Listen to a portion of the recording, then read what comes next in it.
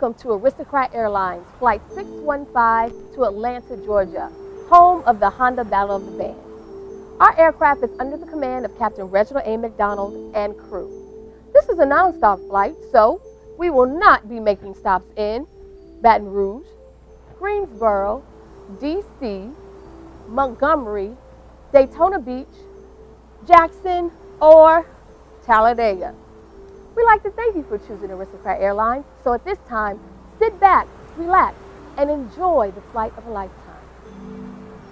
Oh, and you may want to buckle up.